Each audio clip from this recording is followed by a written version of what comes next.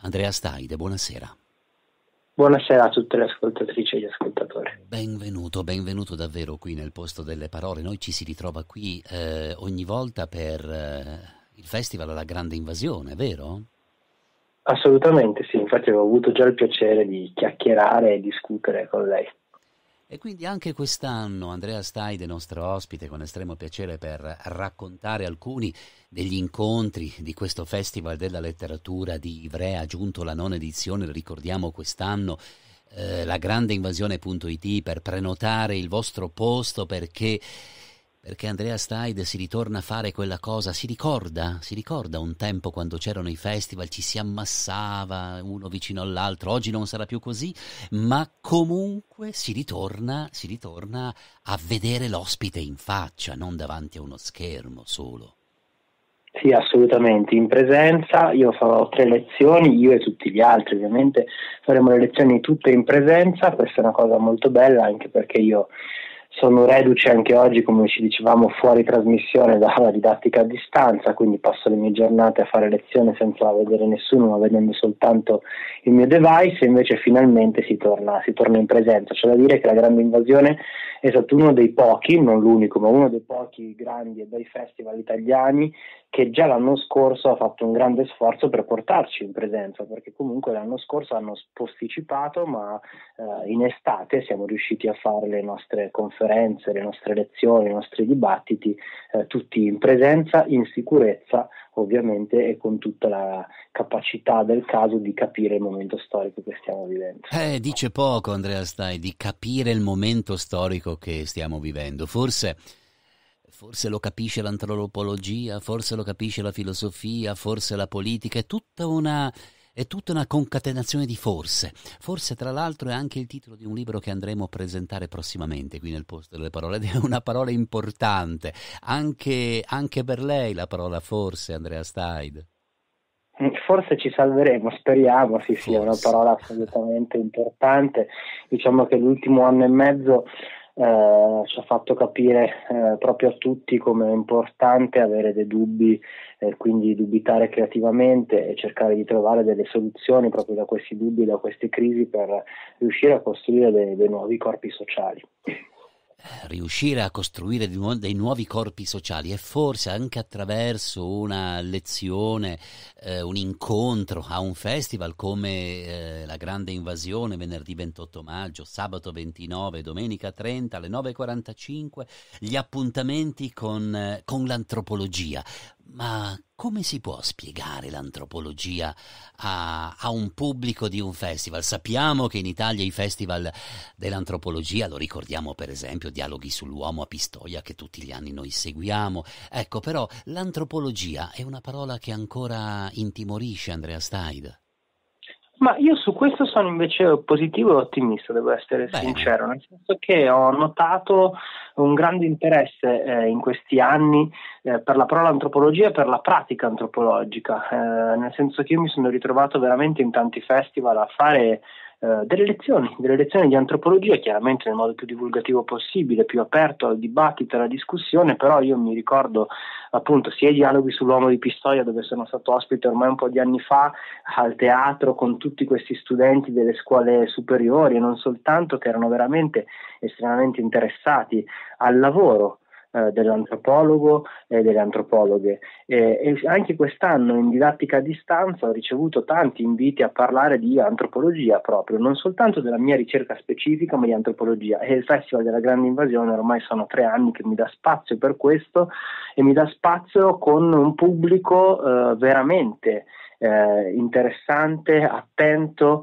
eh, e propositivo. Um, è uno dei festival dove ho trovato più riscontro, devo essere sincero, proprio a livello di eh, dibattito anche fuori e dopo eh, l'esperienza del palco. E quest'anno cercherò di portare proprio il pubblico che comincia a conoscermi un pochino meglio, il pubblico di Ivrea, eh, in quello che è il mio percorso di, di lavoro, il mio percorso, la mia antropologia potremmo dire, e quindi su quello che poi è anche la mia recentissima pubblicazione perché è appena uscito che è la casa vivente, quindi cercheremo di capire antropologicamente che cosa significa la casa, cosa significa abitare eh, in questo mondo, in queste città contemporanee, cosa significa ecologia, ecologia sociale e quali sono le nostre possibilità. Però a proposito di Casa Vivente, Andrea Stai, il libro pubblicato da Adi di Editore, editore di Turino tra l'altro, l'immagine che eh, vedo in copertina è un'immagine di estrema delicatezza e fragilità, non è una palafitta, però è, è, è qualcosa che, che ti fa vedere che la vita è una fragilità. Dunque, il sottotitolo del suo libro, Riparare gli spazi, imparare a costruire, questo riparare e imparare sono due verbi strettamente connessi.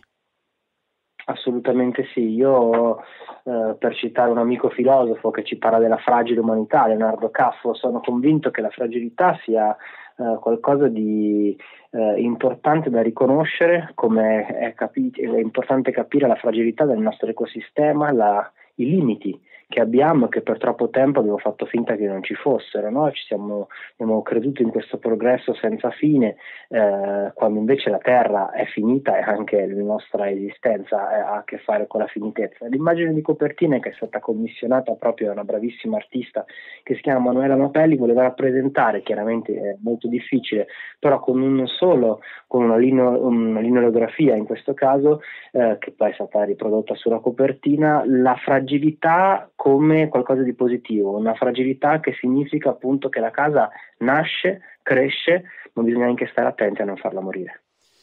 Eh sì, bisogna stare attenti a non farla morire, ma qual è, qual è Andrea Stein? Perché sembra a volte qui nel posto delle parole, proprio perché di parole noi viviamo in questo appuntamento, no? Sembra di essere ogni tanto mh, mm, qualche ascoltatore, qualche ascoltatrice ci scrive, sì, però voi siete molto teorici. E però ci vuole, ci vuole il pensiero, ci vuole la parola e poi ci vuole giustamente l'azione, come diceva un certo risorgimentale. Ecco, qual è una cosa molto pratica che noi possiamo fare per imparare a riabitare meglio? Ecco, qui sono contento di questa domanda perché quest'anno la novità diciamo, che io porto, che porto nel mio nel mio modo di fare le lezioni per la grande invasione ci sarà anche tanta pratica, tante esperienze pratiche, nel senso che non volevo fermarmi soltanto a una riflessione teorica che è importantissima, ma sono convinto che se la teoria non va alla pratica in effetti rimane un po' sterile, la pratica può andare alla teoria. E quindi diciamo che se la prima lezione sarà un approfondimento teorico sul senso dell'abitare, già dalla seconda cercheremo di fare proprio il giro del mondo attraverso quelle che sono le architetture vernacolari che ho avuto la fortuna di abitare in questi dieci anni di viaggi e etnografie, quindi guardando a chi anche eh, vive in modo differente da noi eh, per trovare degli esempi delle possibilità, delle ibridazioni possibili nel nostro modo di tutti i giorni. E poi, eh, come dico sempre, dai viaggi eh, io ho sempre fatto ritorno a casa e quindi racconto anche come è cambiata la mia vita grazie all'incontro con l'alterità culturale, no? con chi è diverso da me. E quindi eh, l'ultimo incontro parla proprio di un abbecedario del cambiamento, cioè piccoli esempi, piccole mutazioni quotidiane che ci possono portare a vivere meglio e a soprattutto a non distruggere più il pianeta che ci ospita. E eh, tante piccole cose, non so se abbiamo il tempo adesso di approfondire questa. Eh, questa lasciamo i nostri ascoltatori nostra... quando saranno presenti in lezione a questo punto. Andiamo semplicemente per suggestione, Andrea Steid. Però eh, io volevo, ehm, volevo parlare di. mentre diceva questo, mi è venuto in mente che noi dobbiamo pensare a tutto questo cambiamento perché ognuno porta giustamente, come quando giochiamo a Lego, ognuno porta il suo mattoncino a costruire, no? E costruire in maniera razionale. Quindi io devo, io devo pensare a questa cosa. Ma oggi, eh, me lo dica lei che studia antropologia ogni giorno, oggi forse non basta più pensare, forse c'è bisogno di qualcuno se è una domanda banale abbia la compiacenza di dirmelo, forse c'è bisogno di, di, qualcuno che ci insegni a come pensare. Perché io vedo ogni volta quando mi siedo sulla sedia e guardo i dibattiti televisivi, io penso che tutta questa bella e brava gente sappia dire molte cose, ma non ci dimostri quanto è importante il come pensare. Sì, assolutamente. Come pensare e come agire anche. Io credo che devono essere delle risposte che poi troviamo anche assieme collettivamente confrontandoci. Ma come dicevo prima, sono convinto eh, che bisogna, oltre a saper pensare e fare proposte, bisogna anche saperle mettere in pratica, no? E quindi se, non separare troppo quello che prima eh, citava anche lei della, dell'azione, dell'azione che parte proprio dalla teoria, no? Questo è un po' mi ritrovo, a parte che mi ritrovo d'accordo, ma credo che c'è proprio bisogno da una parte di una pedagogia del pensiero e quindi un sapere insegnare a uh, pensare liberamente e dall'altra anche concretizzare questi pensieri e quindi passare dalle teorie a dei fatti, a dei cambiamenti, appunto a delle mutazioni culturali reali. E una delle ricette secondo me interessanti è smetterla anche di autoassolversi come soggetti dando la colpa sempre a qualcun altro. Io credo che Camus aveva grande ragione quando ci parlava nell'uomo in rivolta del fatto che se noi come soggetti ci rivoltiamo possiamo costruire comunità.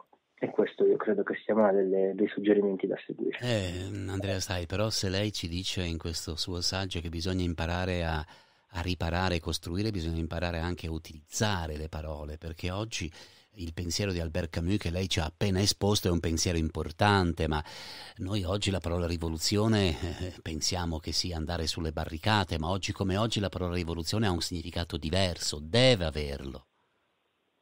Sì, beh, sicuramente, no, più che altro mh, quando Camus parla più che di rivoluzione, Camus ci parla di rivolta, no? quindi di come eh, rivoltarsi allo status quo come soggetto può farci riconoscere in comunità quindi non tanto della rivoluzione, la presa della Bastiglia Altro o che... comunque la, il palazzo d'inverno, no? cioè qui stiamo parlando proprio di una questione che ha a che fare eh, anche con appunto un cambiamento che parte dall'individuo per arrivare alla possibilità comunitaria, eh, per questo credo che sia importante rileggere Camus, sicuramente è importante anche saperlo interpretare eh, con il contemporaneo che ci circonda tutti i giorni. Diamo appuntamento allora ai nostri ascoltatori e ascoltatrici alla grande invasione per prenotare il posto per le lezioni antropologiche di Andrea Staide, però prima di salutarci invece qual è, qual è il libro che le fa compagnia in questi giorni? Ma in questi giorni in realtà sto leggendo un libro per, uh, per lavoro, uh, che però mi, mi, ha, mi, ha, preso tanto tempo, uh, che è un libro che stiamo pubblicando con Meltem Editore, che, um, che, è La vita sociale delle cose, è un libro curato da Arjun Appadurai, che è uno dei più grandi antropologi di questi, di questi anni. E ben volentieri noi lo racconteremo perché la vita sociale delle cose ci attira, mi fa venire in mente eh, il filosofo Remo Bodei con il quale molto tempo fa abbiamo, abbiamo conversato su, sulla vita delle cose, se non ricordo male come titolo del suo libro, ma forse non era esattamente quello, ma il rapporto tra noi e le cose non è semplicemente un aspetto filosofico, ma un aspetto vero di vita, di vita vissuta. Grazie, grazie ancora Andrea Staide, buona serata. Grazie mille, buona serata a tutti.